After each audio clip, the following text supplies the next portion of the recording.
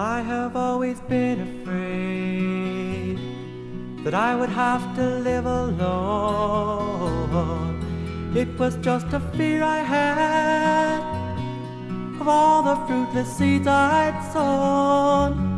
But then I looked in Jesus' eyes as I began to realize I would never be alone in all the love he'd.